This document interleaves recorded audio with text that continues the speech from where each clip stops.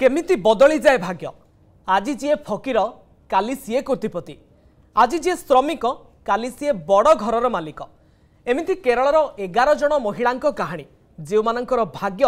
ବଦଳି ଯାଇଛି ଦିନେ ରାସ୍ତାରେ ଅଳିଆ ଗୋଟାଉଥିଲେ ଏହି ମହିଳାମାନେ ଆଜି ସେମାନେ କୋଟିପତି